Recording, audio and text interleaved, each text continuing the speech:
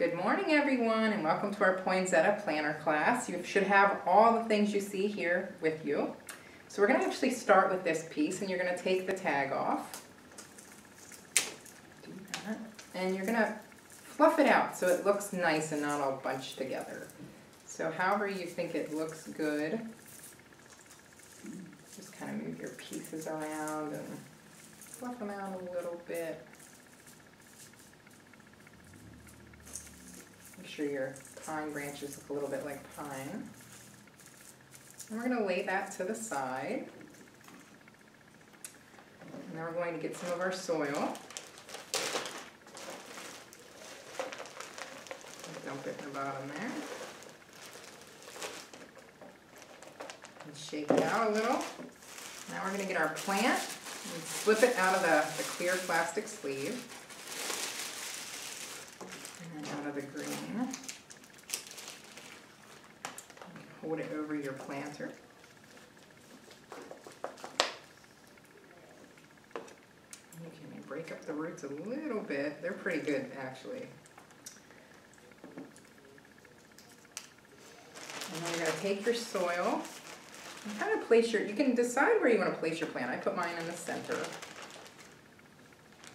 You're going to put your soil around, your leftover soil. Kind of press on the top of your plant slightly so it gets down in there a little bit.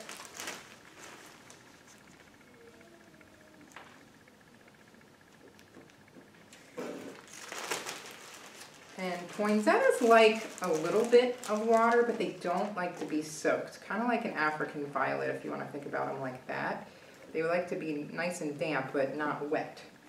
So when you're watering that, keep that in mind because this is a centerpiece kind of thing for a table or for your shelf or wherever you're putting it. Just keep in mind you don't want to overwater because it does not have drain holes.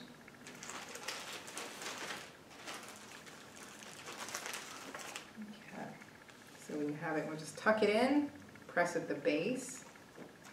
Be careful you don't knock any of the leaves, the leaves.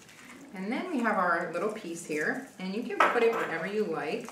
I'm going to actually slide mine right in here so that you can see the pieces along the side.